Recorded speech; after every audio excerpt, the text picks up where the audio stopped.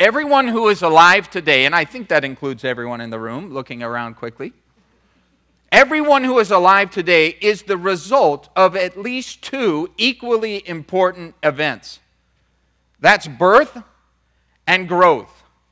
See, if you think about it, you are the result of a physical birth, and that was followed, I'm sure, by physical growth. And it's the same story, really, if you think about it in the spiritual realm. If you're a follower of Jesus here today, if you have faith, you have experienced what the Bible calls a new birth, a spiritual birth. And if you'll turn there on your page to 1 Peter chapter 1, and let's look at it together, verse 3 specifically. It says this in verse 3 Praise be to the God and Father of our Lord Jesus Christ.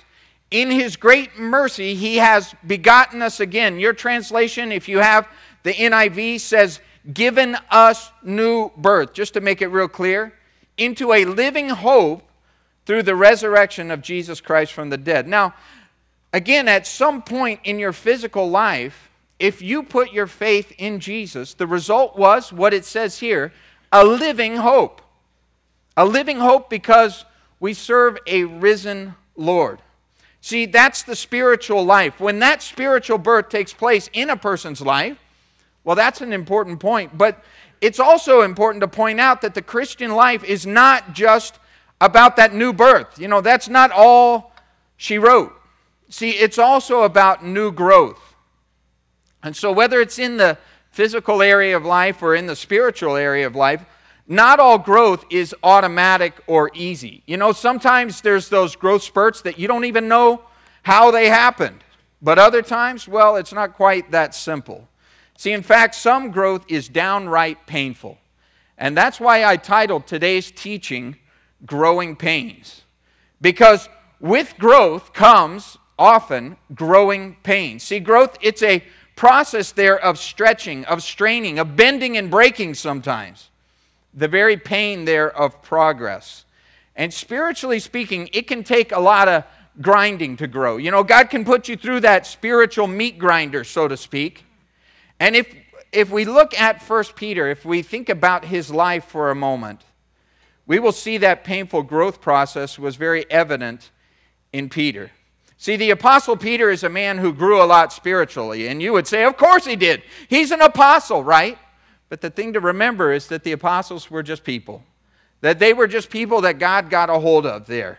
And we first meet Peter in the book of Matthew. That is the first book of the New Testament. We won't go there now, but just know that that's the first mention of this person, Peter.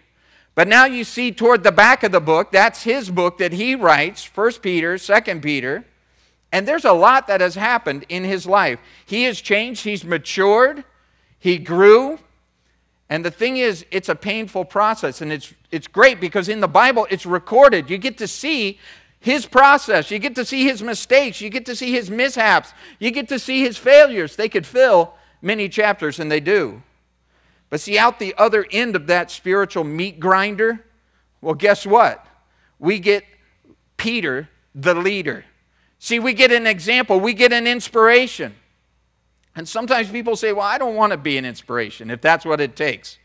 But remember, the inspiration he gives us, we're going to read it here in 1 Peter 2, verse 2. So if you go skip down to that, you're going to see this verse, such an important one to know. We'll talk about it more today in context, but this is the idea, this is the big idea of today's teaching if you want to think it through and write it down.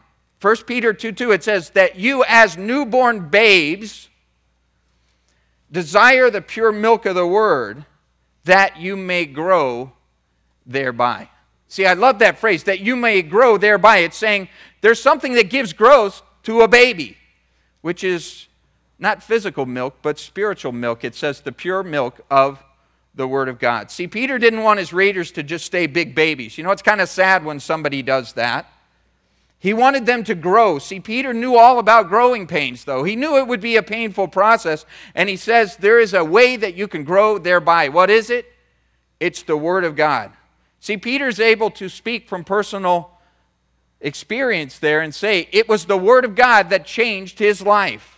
And not just pages there, the person. See, the Bible says that the Word became flesh and dwelt among us. That's Jesus, the walking Word of God.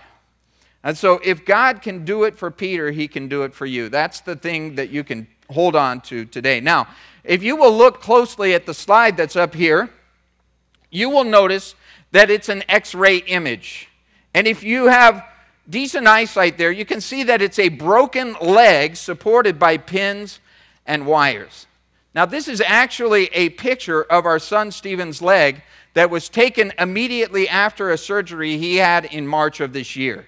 See, Steven is having his leg lengthened and strengthened. Now, right away, you might say, ouch. And that would be a good response. See, he was born with one leg that was quite a bit shorter than the other. And from birth, we knew that there would come some growing pains in his life. Specifically, we knew that his bones would come to a point where they would stop growing prematurely. See, and they would need some encouragement to keep growing beyond that point. See, to his full potential, if he was going to reach it, there would have to come some growing pains. And talk about growing pains, this is how it happened.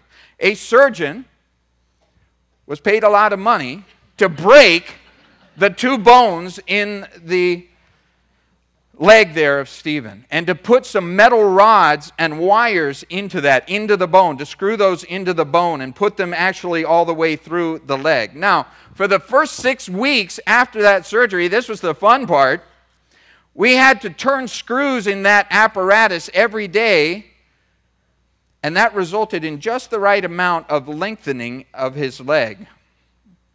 Now, after the lengthening came the strengthening. See, that is one of those things that you think about and you say, oh, at least it was over quick, right? Well, not exactly. See, Steven tells me this is the most painful part of the painful parts, which is eight more months for that new growth, that new bone growth to fill in the gap and solidify enough that that brace can be removed.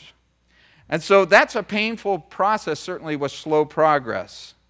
And you might say, hey, you know, spiritually, I can kind of relate to that in some ways. See, one medical journal called this an excruciating test of the upper limits of human endurance.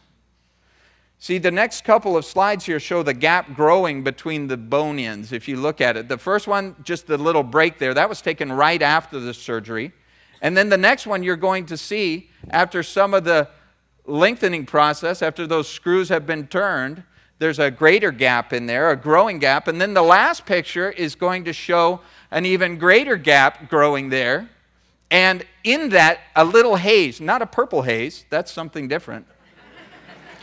but there's a little haze growing in that gap. Hopefully, nobody's still in the purple haze. That, uh, but there's a, there's a haze in there, and as the doctor put it, by faith, that is the growth that is occurring in the bone. Now, these are some older pictures, and I didn't have the most recent ones that are showing even more, more, more growth in that area. And so we encourage you to keep praying for him as uh, we're going to the doctor even in a couple weeks for another x ray. But this is new bone growth here. And I, you know, some of you, I can see you even wincing through this thing. I didn't show the color pictures. I have mercy on you for that. We have a whole bunch of really cool pictures, but they're a little bit too graphic. So if you're into that sort of thing, hey, stop by afterwards. I'll show them to you, you know, and, and Steven here can even show it eh, there in person. But what do these x rays have to do with First Peter? Well, I'm hoping in some way it's a very memorable picture for us that we can always remember this main message, which is life is not just about birth, it's about growth. And both can be painful. I mean, ask your mom whether birth is painful. But growth, hey, that can be pretty painful too. See, encouraging you here to keep growing, keep going forward, even when there are some growing pains in your life. Now, some of you are saying, Pastor Scott, you don't have the gift of encouragement, man. You have the spiritual gift of discouragement, man. You are not encouraging me to want to grow. you are discouraging me from growing. But please stay tuned today. See, I think there are some encouraging thoughts on growing pains, on the purpose of pain, because everybody, whether you want to or not, whether you choose to or not, you're going to go through some pains in your life, and you can either grow from those things or not. And so there's some lesson learned, I, I believe, from the physical to the spiritual in this surgery here. God used this experience of this surgery to encourage me personally through the inspiration from my own son to keep growing. And see, to teach me some lessons about the courage it's going to take to keep growing sometimes through the painful process of progress. Now, the passage, again, that we will look today at is from 1 Peter. And this whole book, if you'll look at it later, and I'd encourage you to do so, it's a book that's about triumphing over trials. It's a book about heading through those hardships, but actually learning from them and growing from them. It's not just going through some adversity, it's actually growing through that adversity. That's God's plan and purpose for us. See, and I think about God's perfect timing in it, which is the very section that we are studying here today. The very part that we are looking at, well, that happened to be where I was reading in my own devotional time when we were at the hospital. I'm right here in 1 Peter reading this section as we were going through all of this back in March. And so, two days after the surgery, what happened was that the doctor came in, the surgeon came in.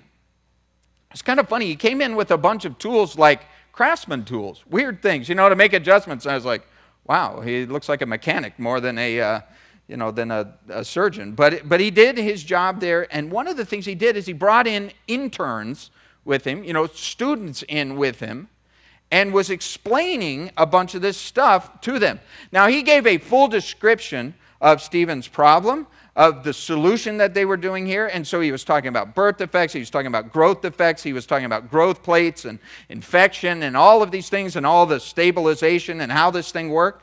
Now, mind you, I hadn't had sleep in a few days, and I had slept on that couch that they intentionally make as painful as possible, you know, at the hospital. So I guess you'll leave. I don't know why they do that, but they they search. You know, they don't go to IKEA where there's some nice, comfortable furniture. No, they like go and say, hmm, that's a torture chair. We'll put that in all the rooms, you know. But that way you can relate to whoever's suffering in the hospital bed.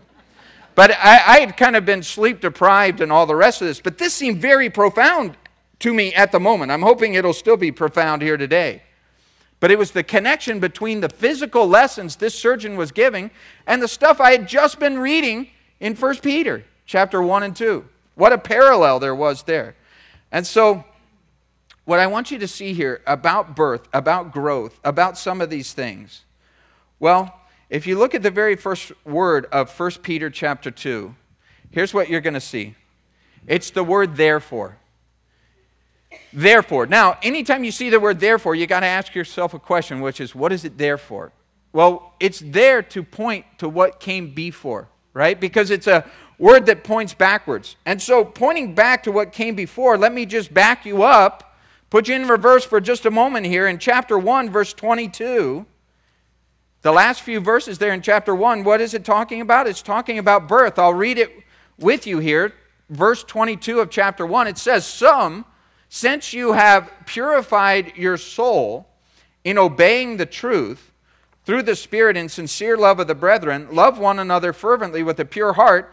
Here's that phrase again, verse 23 having been born again, not of corruptible seed, but incorruptible, through the word of God which lives and abides forever. And then he goes on to contrast the eternal word of God with the not so eternal world. It says, Because all flesh, that's us, is as grass, for all the glory of man, as the flower of the grass. The grass withers, its flower fails away, but the word of the Lord endures forever. Now, this is the word which by the gospel was preached to you. So, what is Peter saying there? Well, he's talking about that birth process, how it happens, and contrasting that physical birth, which is through the corruptible seed with the spiritual birth, which is an incorruptible seed. The word corruptible, it just means flawed, messed up, corrupted. See, the physical life of man, it just says it right there. We wither and we die. Now, we can try to deny this process. You know, I, I like the way Pastor Pedro puts it. He says, You may have an hourglass figure, but the sands are going to shift. I mean, that's just, you know, over time, the sands are going to go through that hourglass a little different. And you can try and prop it up, or you can kind of cut it off, or whatever, but the incorruptible seed is the only thing that isn't ever going to change. See, the corruptible seed, the physical life, well, There's going to be some growing pains as we even growing old. See, the Word of God lives and abides forever, though. Now, if you're taking some notes, these are the things that that doctor was saying, and I wrote them down, so I kind of plagiarized him, but hey, after the bill that they sent us, I suppose, you know, this is the least he could give us. So, the Word, the Word of God, what does it do? It corrects defects. Corrects defects. See, that's what God's Word needs to do in our life correct defects. I don't know if you know this, but you have some defects. I'd be happy to point them out to you. But I probably don't need to. Maybe you already know a lot of them. See, spiritually speaking, we were all born with a deadly defect. The Bible calls it sin. You know, people try to call it syndromes. You know, I have a syndrome. No, you have sin. That's the truth. See, it's a defect so deep, so drastic, that the only way to correct that defect, the Bible says, is to be born again. It's like God says, eh, hit the reset button. We got to start this one over. And so to start over with a new heart, a new start, a new mind, a new life, what a wonderful thing that is. I love the reset button. You know, my kids like to play video games, and every once in a while I admit I do too. But if you get off to a terrible start, red button, you know, reset, you know, reset every regret, everything that I've done wrong, and get a new start. That's what God says we can do. Because we were all born with a spiritual birth defect, a corruptible seed, the Bible calls it. We wither, we fade. See, that's the problem. What's the solution? Well, we must be born again, the Bible says. Not of something corruptible, not of something temporary, not of something physical, but something incorruptible, something eternal, something spiritual. See, and we have there what the Bible calls a spiritual rebirth. How does it happen? By believing and putting our trust in the Word of God. And again, not just the pages, the person behind the pages, the author and finisher of our faith, the Bible says. And so, so often that word, I think, somewhere along the line got kind of hijacked, and sometimes it can be kind of strange. Like people talk about born again Christians. You know, is that guy a born again? Is he one of those born agains? Well, that's usually a, a you know, short way of saying, is he one of the weird ones? You know, is he one of the fanatics, one of the crazy, wild eyed ones, you know, that just kind of want to hit me over the head with it or something? No. See, Jesus was the one who said those words first, and he was anything but weird. But he said, You must be born again. You must come to a new, fresh start. I mean, when you put it that way, you understand it maybe a little differently. But there really is no other kind of Christian. You know, it's not like a special brand of them called the born again types. No, you either are born again or you're not. And the Bible says if you are not, well, then you're really not a follower of Christ. See, we don't have eternal life naturally. We don't come by it physically. Our parents can't give it to us as much as they might like to. But God gives it to those as a free gift to those who ask Him. And you'll have an opportunity, if you've never done that, you'll have an opportunity to do that here today at the end of the service. But you see what he talked about there in verse 25 the gospel preached. Now, the gospel means good news, but there's also some bad news inside the good news. I don't know if you uh, have ever heard somebody say, Hey, I've got good news or bad news. Which one do you want? Well, I'm like, just the good news, thanks. You, you know, why does it have to be this and then that? Why can't we just leave the bad news out? Well, we really can't. See, the bad news is we are sinners. We have a defect, born with a fatal flaw, a heart defect. You know, the heart, the Bible says, is defeat, and deceitful and wicked. You know, we say, oh, they have such a nice heart, and that's not what the Bible says. He says, you have a messed up mind. You know, you have thoughts that if we were to put them up here on the screen, you'd go, oh, could you take that down, please? You see, we need a transplant. We need a new heart. We need a new mind. And the good news, in light of that bad news, is that the Word of God corrects defects. That's what He's promised to do in our life, to anyone who comes to Him. For me, it was in 1993. At the age of 27, I'm now 43. But God is still correcting defects. See, for you, it may be today that you come to that birth process, that moment, that point where you say, hey, I want to start growing spiritually. Put your faith in Jesus. See, that was 93 for me. But again, I have defects. It's not the end, it was the beginning of growth. See, after there is birth, then there is followed by that growth. So important to see those two. So many people get so hung up on the birth thing spiritually, but what about the growth thing? See, that's real important too. It comes as a shock to many Christians, I think, that even after we are born anew, born afresh, and have this experience with the Lord, well, that we still have defects. You go, oh, we do? I thought he was going to take all those away. Now, see, we make the choice to follow Jesus, but that's where the process of progress changes and starts. We are immediately given new life, like that, in God's eyes, but there's still some defects to correct. See, let me use the analogy this way. By God's grace, our son Steven, he was not born with a life threatening defect. You know, that can happen. But he was born with what I might call a growth threatening defect. See, we could have left his legs uneven, but we wanted even Steven. See? now, that would have caused other problems. Now, the, this is one of the things you learn in life too, is that sometimes problems get worse over time. See, as a kid, you can run around on one leg. You can just do whatever you want to do. But after a while, I don't know if you've ever noticed this, but one little thing off, and all of a sudden everything's off. And the longer you're like that, the more out of whack you get. And so we needed to even up Steven. And the type of growth that he was going to have was going to take courage. See, again, it wasn't just going to be automatic, it wasn't just going to happen. You know, some of the bones in his body were going to have to be encouraged to grow.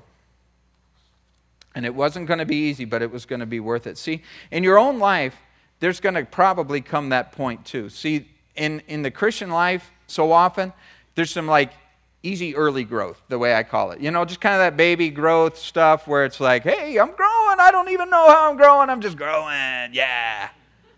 And then you all of a sudden hit some kind of plateau, er, bong, and you go, wow, I don't know how to grow past this point. And God says, Well, I know how to grow past this point. See, again, so often in those early times, it's like, well, I'm forgiven. I, I, I've given my life to Him. I'm heaven bound. And, and hopefully we never get away from the joy of that. But practically speaking, there's some times in my life where God says, you know, there's still some unevenness there. There's still some brokenness there. There's still some stunted growth there. And I'm going to have to do an adjustment. You go, an adjustment? Is it going to hurt? you may feel a little pinch. Don't you hate when doctors say, feel a little pinch? You're like, no, this is a little pinch, doc. What you just gave me was not a little pinch. See, and maybe some of you in this room right now are at that point where you're feeling pinched, you know, in your Christian world. You've been born again, as the Bible says here. You know you're forgiven. You know you're headed to heaven. You know what the Bible says on those things. But you know, you know what? I think I'm about to go through a season of growth. So I maybe hit that plateau and, and I want to keep growing. I want to keep going. And you say, but it's, it's going to hurt, isn't it? It's going to hurt some, isn't it? I don't know how to grow past this point. And God says, well, I do. See, at that point, that's when we need to trust the spiritual surgeon. That's what God is in our life. He's the one who comes in and says, there's still a bit of work to do. And so he has that ultimate set of tools. You know, he can fix it. When you look at your life and say, I don't know who's going to fix this mess, God says, I can fix it. But sometimes he'll put us in a fix to fix it. See, God's work in our life, His word in our life, well, it's both a point and a process. I think that's so important to see. Again, that point for me, 1993, I can point back to that and say, God entered my life in a real and radical way but it's still a process. And it'll be a process until the day I go to be with Him. See, the point is birth, the process is growth, and God wants both in our lives. God doesn't want to just whisk us away instantly to eternity. You know, you would think, hey, that'd be a great thing. You know, I come to faith in Him, and what happened to Scott? Well, he's gone. You know, he became a Christian today. Oh, really? He disappeared? Yeah, no more pain for him, no more growth. God's just going to whisk him off to eternity. See, that brings us back to 1 Peter 2, verse 1 here. The work, the growth process. See, look at verse 1 with me. It says, Therefore, having been born again, remember that's what it says, laying aside all malice, and I like malice. It's the way I do things. All deceit. I've always done things that way. Lie my way through life. You know, hypocrisy, act one way in one situation, another way in another. Envy, you know, looking around, seeing what everyone else has got and why I don't have it. Evil speaking. Well, what will I have to say? I'll run out of words. He says, As newborn babes, desire the pure milk of the word that you may grow thereby, if indeed you have tasted that the Lord is gracious. So I want to review that first point for you real quick, which is that the word of God corrects defects.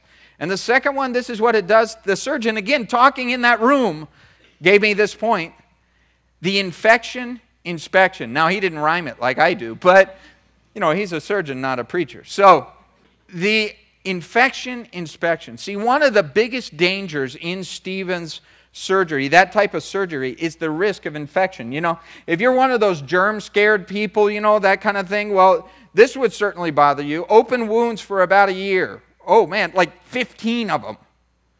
Okay, so bacteria, you know, microscopic little menaces there. They delay that growing process. They will actually endanger it if we don't take care of his leg. So the surgeon spent a lot of time that day in the room while I'm half asleep, giving me all the procedures for taking care of the leg. And I'm thinking, I wish Lynn was here because I want her to do this for the next, you know, however many months. I don't want to do this. I'm kind of a squeamish person, actually, the truth is. But I'm getting, I'm growing. I've, I've gotten to the point where I'm like, eh, it don't matter anymore. You know, God has really helped me in that area. But this is what God's word is teaching us there in verse 1 is that God wants to do an infection inspection in your life. Why? So he can find fault with you? So he can point the finger at you, oh, you're still messed up. So many defects. No. So he can correct the defects so he can keep those things that would hurt us at bay and stunt our growth. Do You want to grow spiritually? Do you want God's surgery to be a success in your life? Well, I can say it this way keep it clean. All malice, it says, all deceit, hypocrisy, envy, evil speaking, that stuff's just, got to be laid aside. See, all those words in verse 1 are really heart issues. You know, they're the things that come out of who a person really is. Sometimes someone will say something like, Well, I just said all that mean stuff. I didn't mean it. And you go, The Bible says something different than that. It says, Out of the overflow of the heart, the mouth speaks. And who you really are will come to the outside because of what is inside. And so God is wanting to get those things purged out of our lives. See, when you think about wounds, well, I'm sure in this room there are some people who've been wounded by the words of others and maybe wounded some people with their words. And so it says here that you can have some shortcuts in the spiritual life and say, well, I'll just let that fester. But see, the danger of infection in your life is that it'll stunt your growth. It's going to hurt you. See, a lot of times people say, I'm not going to forgive that person. They don't deserve it. Well, forgiveness really isn't freeing them so much because they're free whether you forgive them or not. It's freeing you. It's freeing you to grow. See, Psalm 119 talks about the Word of God, and I'm just going to quote one part of it. It says, How does a young man, or for that matter, an old man, keep his way pure? He says, I will hide your word in my heart. I'm going to hide your word in my heart so that it's a part of my heart, so that God's way of doing things, God's way of seeing things, is part of me there. See, the pure milk of the word, it builds bones. So I would ask you, hey, got milk? Got milk? and there's also meat in here. That's the great thing. It's not just milk. It builds bones. And the Bible calls it the washing of the water of the word, just that cleansing process that happens. And you may not even know it. But see, with Steven, we have to do this regularly. It's not just a, oh, we did that once. No, we have to continually keep it clean. We have to watch it carefully. And so the infection inspection, remember, corrects defects, that's what God's word does, the big stuff, but then the small stuff in our life, those microscopic messes that mess us up so often, the things inside that maybe others wouldn't see. And then you see the last thing I want to share with you in these terms here is the word of God brings that stability ability. The stability ability. Now, there's a lot of unstable people in the world. But God's word brings a stability. If somebody thinks they believe in God's word and they're unstable, well, see, God's word actually is the thing that builds us up and gives us stability. See, the flesh won't hold you up. I mean, imagine, we used to have a little song that the kids would sing when we were kids. It was from uh, Sesame Street, but it says, Without your bones, you'd be all sloppy. You know, and if you think about you without bones, you'd just be like, Ugh. and that's how people are without the Word of God in their life. Just kind of blown by the wind, anything goes, mushy. You know, if the crowd is going that way, well, I guess I go that way. If the crowd is going this way, I go back that way. You know, but stability ability. And it's such a wonderful thing when you know God's word is speaking to you. See, when I think about this, I do lots of hospital visits over my pastoral ministry. You know, a lot of times there, even when people are suffering or even dying, and they never ask, Hey, could you read from today's paper for me? Hey, could you read that Cosmo magazine over there for me? No. They say, Could you read God's word for me? That's what people need stability ability to read the purpose of pain, to see that God isn't hurting us, but helping us. The pure milk of the word, again, good for the bones. Now, this is a huge truth coming here. This was the one that hit me the most that day in the room. It's really having to do with the stability ability. You can picture the interns, you know, all with their little notebooks, and hopefully you have one. I had one that day, and I wrote this down. The surgeon asked them some questions. And he said, when a bone has stopped growing, there's only one way to promote new bone growth. Do you know what that is? And they're all like, now. He says, you have to break that bone. See, new growth only occurs in the broken places. Now, I hope in some way that hits you not just physically, but spiritually. New growth only occurs in the broken places. So often we look at our life and say, man, it's broken. My heart is broken. Well, think about this. This is exactly how this surgery works that Steven's going through. The bones are intentionally broken. Again, not out of hate, not because that surgeon is mad at him. No, the bones are broken, and they want to do what God's kind of programmed them to do right away, which is try and fix it, try and fuse it right away. But see, this surgery if all you wanted to do was just fix that bone and just go on the way things were before, then you say, well, what was the purpose of the breaking in the first place? It would be wasted.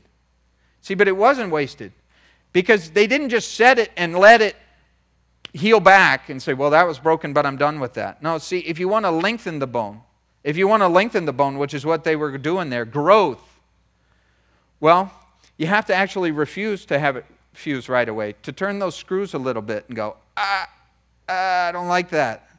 Not all at once. Again, God knows exactly how to have his hand on that screw, the exact amount that is to help and not hurt. Now, it's going to hurt some, but it's hurting to help. See, and you think about this, it was a fraction of a millimeter at a time, and the x rays were being taken all the way along, and the doctor even at one point said, Hey, slow down, just a quarter turn. We need it. he's watching it. He's got his eye on it. He knows exactly what he's doing on this. And this is the hard part too. Along the way, Steven isn't just sitting somewhere in a bed saying, "Wait on me while I wait for it to grow." No, the doctor said, "You got to walk on it to get it to grow." Now, always saying just slightly ahead of that process here. Now, what is the lesson? Again, not trying to gross anybody out, but the thing is progress in your life it's a process, but it's a painful process.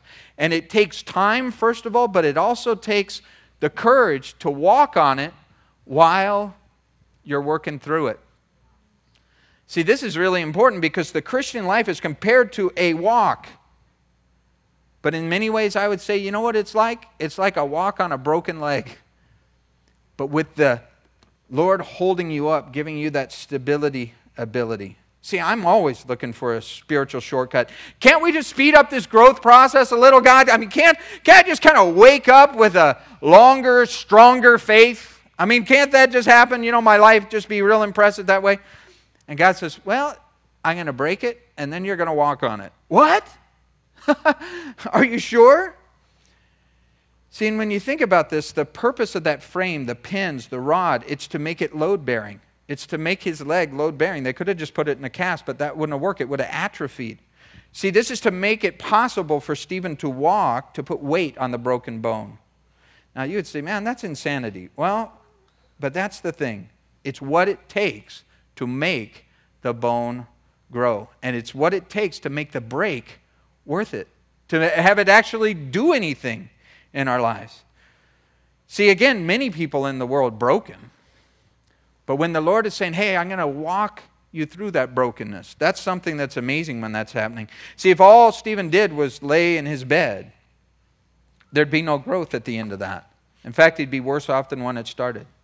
But with this painful process that he's going through here, there is progress. He's walking on it, adjusting it, listening to the surgeon, walking those things, not walking through it alone. And as painful as it is, again, that's what gives growth. The trust, you know, there's that trust factor. Is this thing really going to hold me up? I mean, you saw that gap. Yeah, it's really going to hold you up. The courage, is it going to hurt? Yeah, it's going to hurt. More than a pinch. Will it help? Yes. And see, this is so huge, my friend, because the Christian life is often, again, compared to that walk, a walk with Jesus, and you just have to remember, I hope for all time, that growth occurs in the broken places in your life. See, maybe you've had some broken relationships. Ah, growing pains. Maybe you've had some broke finances lately. The Lord says, growing pains. Broken health, growing pains. Growing old, growing pains. Broken pride. Oh, that's a big one. Self sufficiency. Oh, growing pains. Where God says, we're going to have to get past that point. See? And spiritual birth comes at a point, and there's pain with that, certainly. But you know what? It's kind of only taking a moment. Ah, I like that pain. Oh, okay, we're done. You know, labor, even the worst labors, you know, as terrible as they are. I mean, I don't remember someone saying I had a 35 year uh, labor pains. you know, whoa, that's pretty bad. Uh, but you can have growing pains over a lifetime. And so God wants to lengthen and strengthen our faith. That's important to see. He doesn't want stunted growth spiritually in our life. And see, He knows progress is a process that takes time and some pain along the way, and it won't be easy, but it'll be worth it. And that brings us back to that verse again. Think it through with me as we read it. 1 Peter 2, verse 1. 1 Peter 2, verse 1 says, Therefore, laying aside all malice and deceit, hypocrisy, envy, and all evil, evil speaking, as newborn babes, desire the pure milk of the word, that you may grow thereby, if indeed you've tasted that the Lord is gracious. Now, again, I want to be real clear on this. The Lord is gracious. You know, as you think about this, we do wonder sometimes. People ask it all the time. If God is good, if God is gracious, then why is my life so bad? Or why is life so bad? You know, looking around. Why is everything so hard? Why so much pain? Couldn't God just do something about that? But yeah, He's doing something through that. See, growing pains again. God cares more about our spiritual birth, first of all, and our spiritual growth, second of all. He cares way more about that than our physical comfort. Why? Because our physical comfort will come and go in maybe a hundred years if you last that long. But for all eternity, the growth that God gave will bear fruit. See, but God has to break us sometimes before He can build us. We have a lot of walls, I know, you know, facades, all those sort of things, but suffering has a way of just kind of clearing that out pretty fast, you know.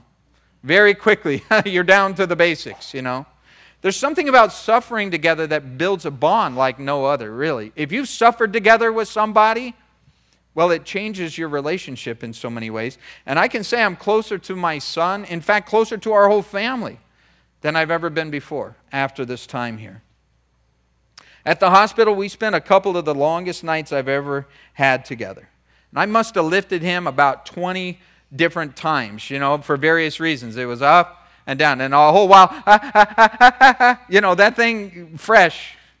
A lot of, lot of challenges there. And holding him up, you know, and he's not that light anymore compared to what he was. And I'm not that strong anymore compared to what I once was. But it was really God holding both of us up and holding both of us close. And I'll never forget those nights at the hospital. Those were special times that built a bond. See, this is the thing to remember as you think about it. I can give great testimony to this. A time of great stressing in your life will also be a time of great blessing. See, it's like God turns the switch and says, Man, that's some stress. Get ready with some bless.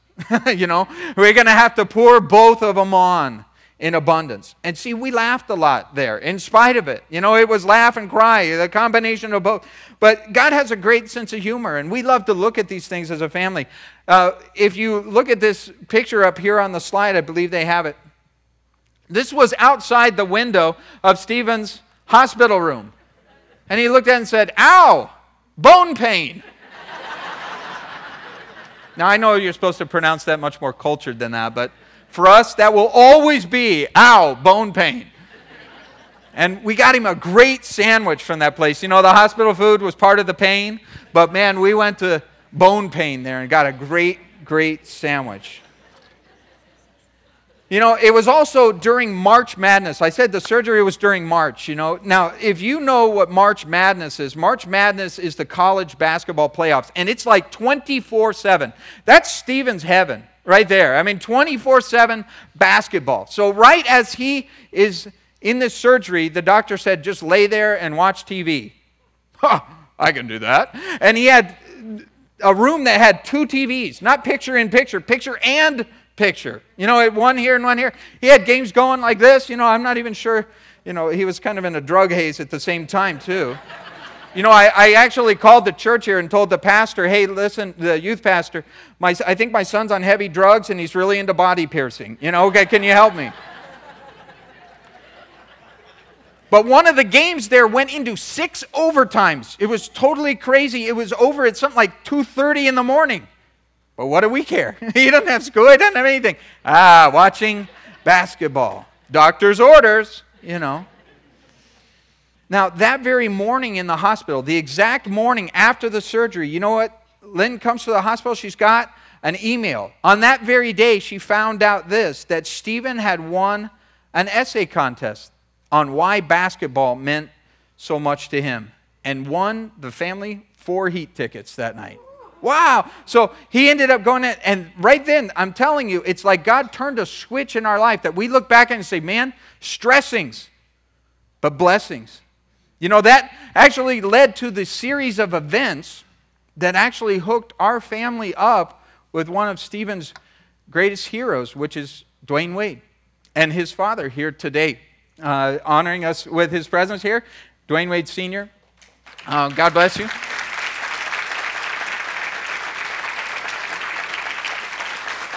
But just open open up some opportunities for Steven to speak at camps and all these types of things. Just things that are beyond miracles if I gave you all the details of them, which I don't have time to do.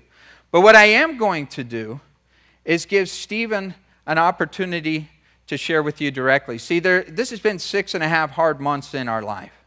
It has been. Our whole family growing closer together and growing some growing pains. And I even said, All right, Steven, guess what you get to do Sunday? Ah, you know, I think it hurt more than the leg. but I think about this Bethany and Carissa, you know, they also have grown so much. Amazing nurses. They have had to put up with so much more, do all of his chores, you know. That's about to come to an end, by the way. But the church family here, I just want to thank you for this. You know, most of all, God has been through us so much through the stressings with his blessings. And God will be here for you. God will be there for you through those things. Now, so many again of you have asked, How is Steven doing? Well, I'm going to let you tell, I'm going to let him tell you in his own words. So I've asked him to come up here, and you're going to hear the same talk, the same basic talk that he gave in front of a, a bunch of kids at, at a Dwyane Wade senior basketball camp that he went to this summer. So, Steven.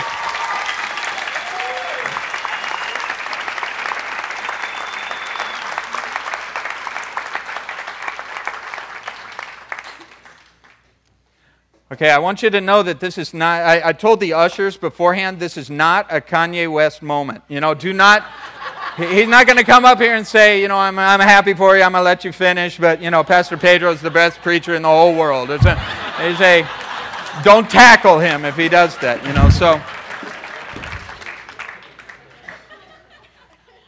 Let's see if we can do the logistics here.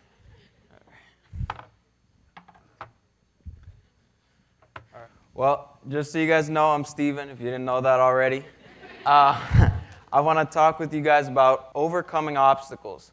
Now, as you can see, I was born without fingers on my right hand, and also my right leg was several inches shorter than my left one. That's why I'm wearing this cage. It's actually called an Ilizarov external fixator. So there you go. um, my leg is being strengthened, but it's also being lengthened. It's a process that takes almost a year. And the last, I actually have had three surgeries. This was the last of them. Uh, it happened in March, as my dad said. But they broke the bones in the leg. Then they screwed metal spikes into the bone. It has not only spikes, but wires that go all the way through the leg to stabilize it. But this is all to lengthen my leg. But the bones grow slowly. I have to walk on it, like dad said. I have to stretch it out so that my muscles don't just get all atrophied. And people always ask me, does it hurt? Yes, it does. But what hurts the most is not being able to play basketball. That's what I want to talk about overcoming obstacles because I have a disability, but I don't focus on my disability. I focus on my ability. I focus on what I can do, not on what I cannot do. One of my favorite Bible verses is Philippians 4:13, which says, "I can do all things through Christ who gives me strength." There is no dishonor in having a disability, and I won't let anyone diss my ability, but I don't want anyone's pity either. I will not use the obstacles I face as an excuse for having a pity party. I will practice harder, play harder, and push myself harder to keep getting better. One of the things that I find funny is that people judge me by appearance. They say, oh, look at this one handed whitey with the limp. I don't want him on my team, you know? But what they don't know is that I don't just have a disability, I have an ability. God has done some amazing things in my life. Last season, I started on my varsity high school basketball team as a freshman, and I won Rookie of the Year. Um, I was one of the top scorers on the team. So.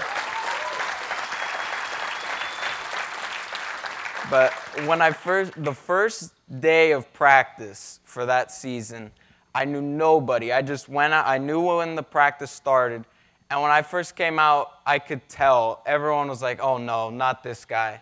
I mean, a handicapped kid, plus I'm homeschooled, so I didn't even go to the school. Uh, I mean, I'm just, they'd never seen me before. They're like, oh no, what's this guy doing here? But I started to warm up, and after they saw me shoot a few times, they're like, oh yeah, this is gonna be awesome. So it's true, I have a disability, but so do you. I also have an ability, so do you. Everyone has obstacles to overcome. Some are visible, like mine, some are less visible. I mean, maybe your obstacle is that you come from a poor neighborhood. Maybe people say you'll never amount to anything. Prove them wrong. Maybe your obstacle is that you have a learning disability and people think that you're dumb. Prove them wrong. Maybe people judge you because of the color of your skin or your family background. Prove them wrong. I know a lot of people who take one look at me and judge me they say, oh, that kid can't be any good at basketball. I love to prove them wrong. With God's help, of course. Maybe your biggest disability is that you have a whole lot of ability, but not a lot of discipline. You're the best on your block, but you don't discipline yourself. You don't listen to the coaches or the teachers that God has put in your life. Maybe you are better than everyone else, but that's not the standard. Are you the best you can be? Everybody has obstacles, a disability, a hurdle. We face a choice. Let the obstacle overcome you or overcome the obstacle. Maybe some of you have heard of Jim Abbott. He was a Major League Baseball player. He won a gold medal in the Olympics. Uh, he played for the Yankees, the Angels, but he threw a no hitter and he only had one arm. When he was a kid, he came home mad one time and told his dad, the kids won't let me play baseball because I only have one hand. But his dad replied, No, the kids won't let you play baseball because you stink at baseball. You can't change the fact that you only have one hand, but you can change the fact that you stink. So his dad began to practice with him, and he got good. And soon the kids wanted him on their team, and then the major leagues wanted him on their team. He overcame obstacles. An interesting note about the no hitter game was that it came right after one of the worst starts of his career. And it was against the same team, both games. It would have been easy for him to give up, but he didn't. He overcame obstacles. Another thing that teams would try to exploit his weak side. They would try to bunt to the side that was that he had a missing arm. But they never succeeded because he practiced and practiced fielding bunts to that side.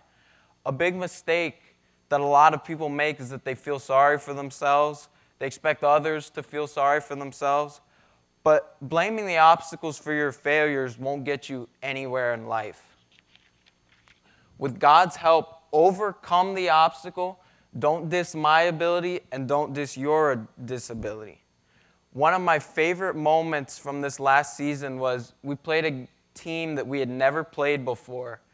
And when the game started, you could tell that they were dissing my disability. I mean, they, they double teamed our tallest player. They just were playing really soft on me. And they just, you could tell, they thought, what can this guy with one hand do? So they left me open for a three. I made that one. They left me open for another one. I made that one. Then they started to get frustrated, so they actually fouled me. I made both free throws, and they called timeout.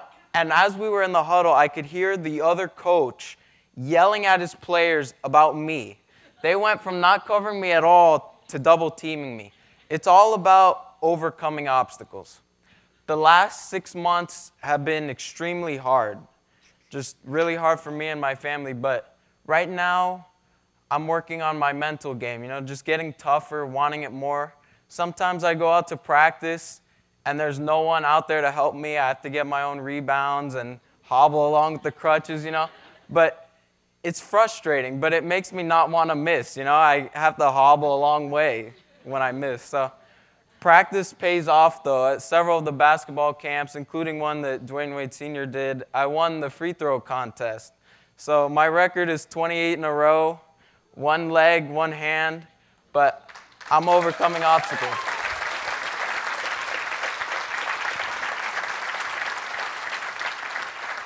But the most important thing is that I'm not overcoming them alone. I have my faith in God, I have my family, my friends. Thank you to all of you who have prayed for me.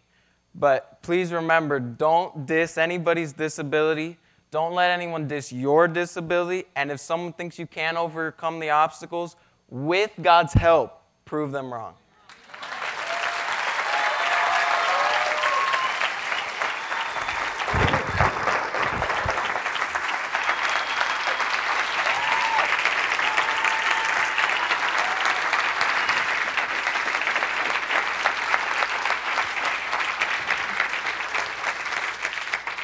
I don't want to push this into the front row, so stop me there.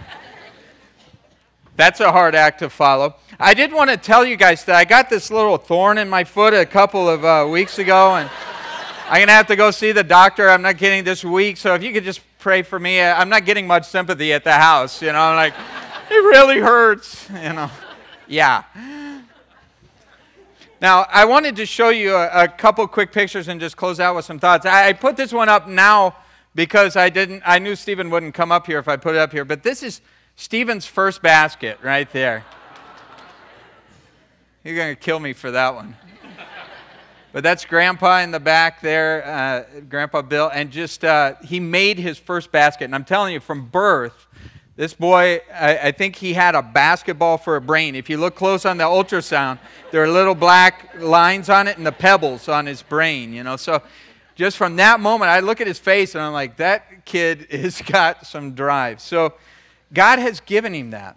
But I want to kind of close out with the last lesson here because, you know, this isn't to bring attention to my son or our words, it's to bring attention to God's son and his words. See, I want to talk with you just briefly about the love of a father for a son. See, honestly, facing this surgery, I think it was one of the most difficult things that Lynn and I have ever gone through, you know, as parents. I won't speak for Steven, but I know this. I was scared. I was scared. Now, you know, you'd like to think, oh, oh he's a man of God, he's a man of faith. Listen, I was scared. One of the hardest things I've ever done in my life to put your only son there on that gurney and watch him wheel him away knowing what was ahead for him. The waiting room that we were in, hours longer. It was already scheduled for hours, but it took hours longer than they expected and we expected. Knowing what was going on somehow, but also not knowing everything that was going on. And knowing, hey, they're breaking his leg, they're putting spikes through his leg. You know, and Steven was under anesthesia at the time. You know, I knew that much. And I knew that the doctors and nurses were some of the best in the world there trying to minimize his pain. They had his best interests at heart. But when I look at when I think back to the pain that was on his face when he came out of the anesthesia and the look on his face, I will never ever ever forget it. I'll never forget that moment. Just the brutality of all that.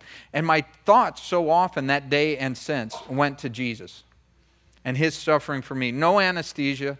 They beat him, they hurt him, not to help him. They didn't want to minimize his pain, they were trying to maximize his pain. Spikes through his hands and feet, and even worse than that, the sin of the world placed upon him. And you think about that, what would lead a father to do that for his son when it really wasn't doing anything for his son? Well, the Bible says it was for you, that it was for me. It was because of his love for me. It was his pain, but my gain. And pain has a way of getting our attention. I think it does. You know, there's nothing like blood or something to make you go, I'm, I'm awake, I'm alert, you know. And when Jesus went to the cross, again, it wasn't to correct his defect, he didn't have any. It wasn't to pay the price for his sin, he didn't have any. He had pain with a purpose, and he's promised us the same that we would have pain, but with a purpose eternal life. You know, we talked there about overcoming.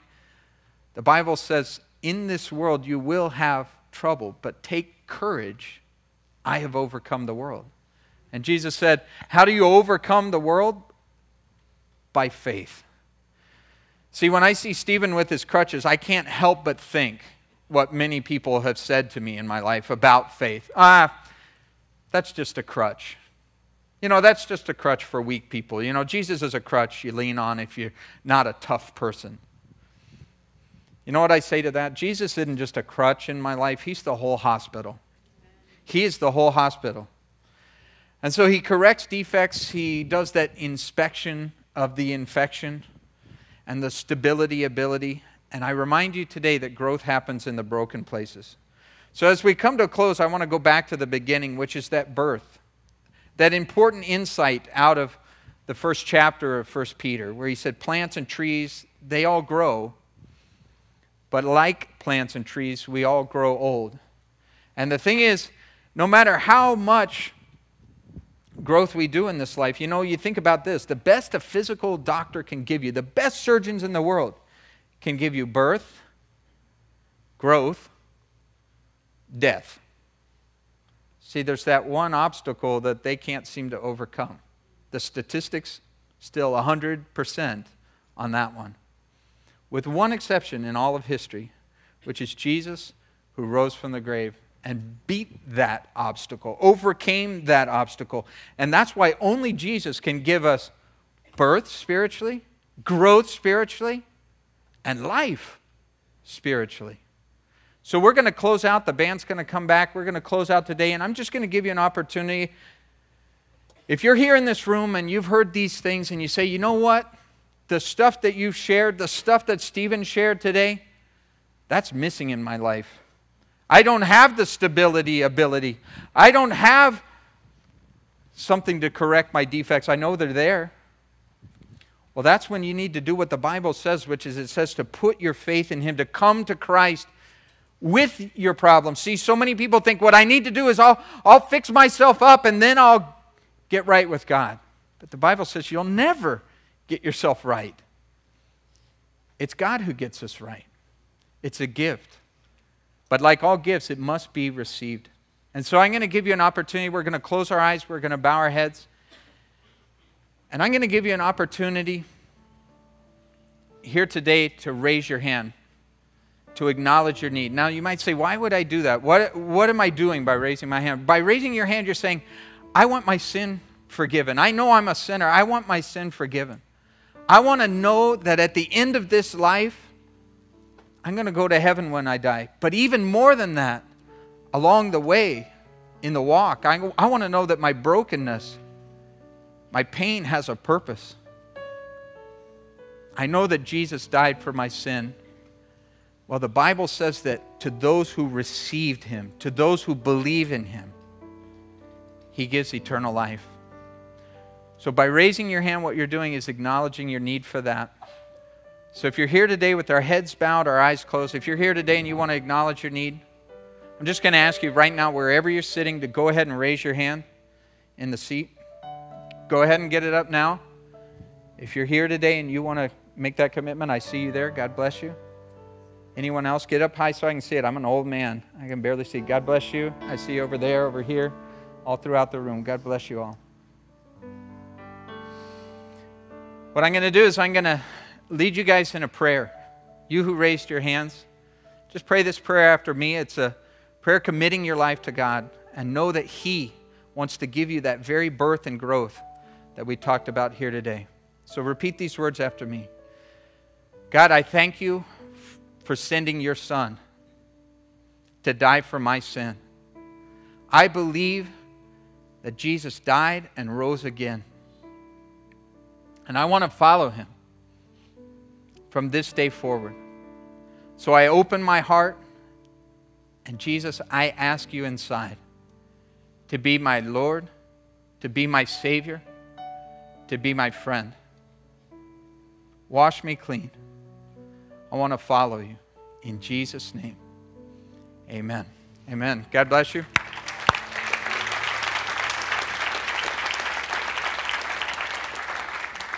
I'm going to ask you to do a bold move at this point. If you raised your hand, if you prayed that prayer to commit your life to Christ, I'm going to ask you, uh, the band here is going to close us out in a song. And as soon as they do, I'm going to ask you uh, to get up out of your seat and come right down here to the front.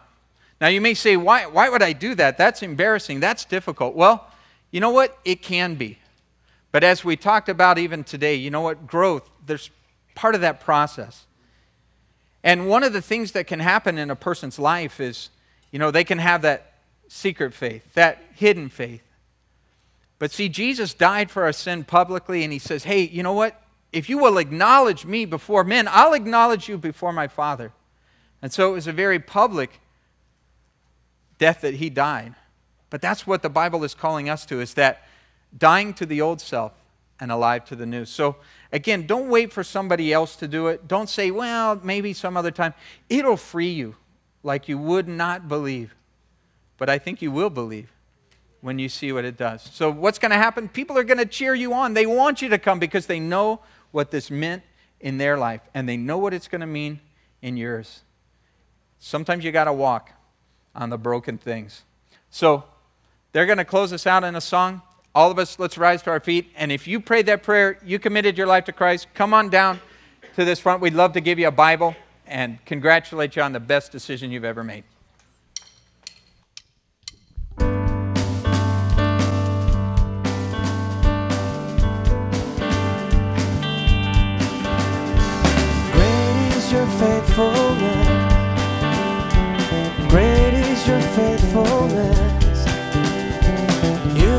You never.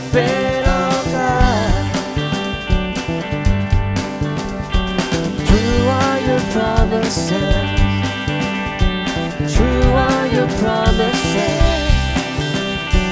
You never change. You never fail. So